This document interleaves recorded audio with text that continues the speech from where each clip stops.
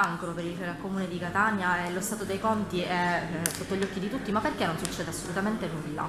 Ma um, la cosa incredibile in realtà le cose sono successe perché i rilievi che ha fatto la Corte dei Conti che eh, per legge eh, deve controllare che i comuni in piano di riequilibrio finanziario attu attuino quel piano di riequilibrio finanziario. Che vuol dire il piano di riequilibrio finanziario? Significa che un comune ha speso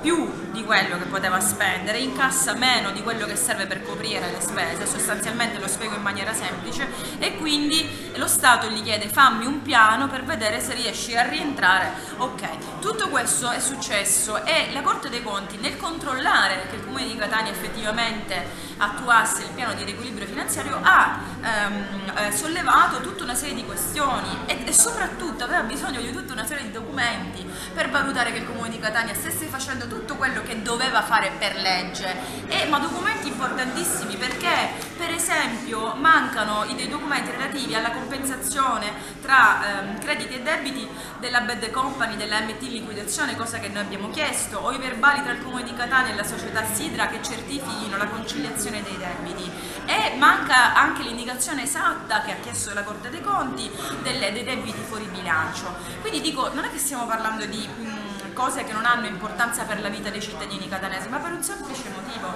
perché i cittadini catanesi qualunque errore dell'amministrazione la pagano in due modi, o non hanno più servizi o devono pagare più tasse.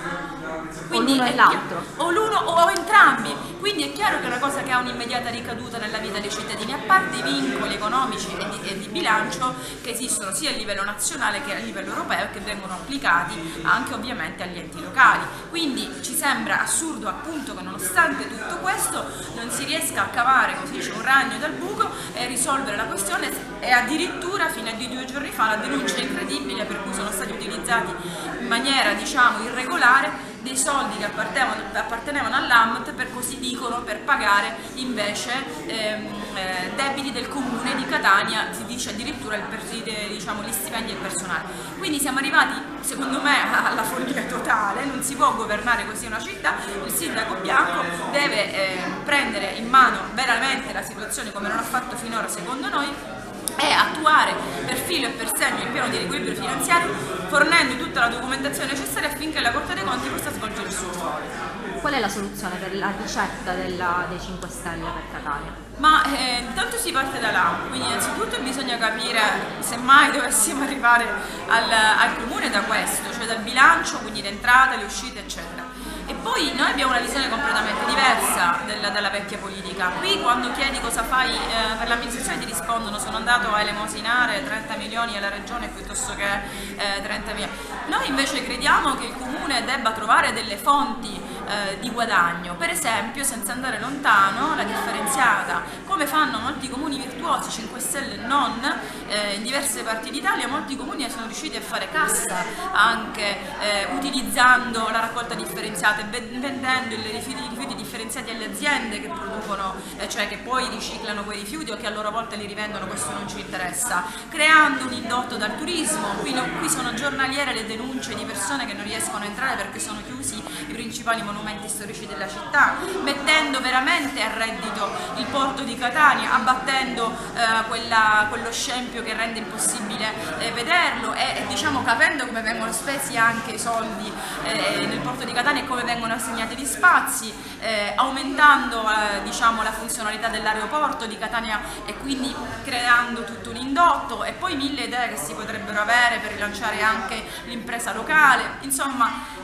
una visione diversa, gli impianti sportivi a Catania sono assolutamente eh, in questo momento abbandonati pur, pur avendo una, una buona rete, insomma idee ce ne sono tantissime, bisogna cercare di pensare secondo noi anche in una maniera diversa, quindi non pensate di fare la politica semplicemente chiedendo l'elemosina ora a destra ora a manca perché non si hanno idee per governare, ma mettendo a frutto idee condivise con i cittadini che i cittadini vogliono per migliorare questa città e per creare un'economia anche eh, locale, sia di piccolo taglio, tra virgolette, che di più grande taglio, di più grande visione, anche con imprese più grandi e con progetti più importanti anche con, mm, con l'Unione Europea, dove però finora i soldi qua stranamente quando arrivano finiscono in buchi neri per cui non c'è nessuna ricaduta, mi dite che ricadute abbiamo di tutti i fondi europei che abbiamo utilizzato in questa città. Quindi i modi ci sono, ci vorrà tempo e volontà. Non avere un referente al consiglio, di, al consiglio comunale sicuramente non aiuta, ma l'idea è che il Movimento 5 Stelle in questo momento su Catania sia un po' fermo.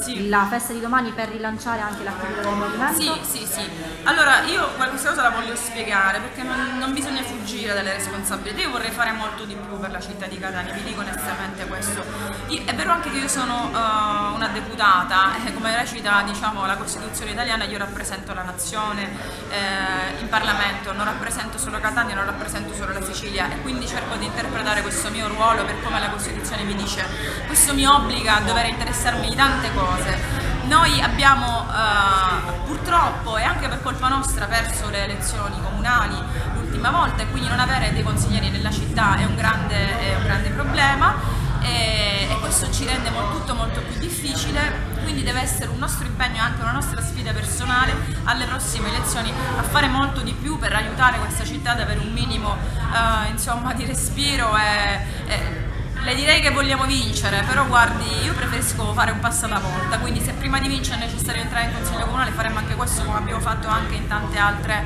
realtà e poi magari ci sarà un secondo momento. In ogni caso così non è possibile andare avanti.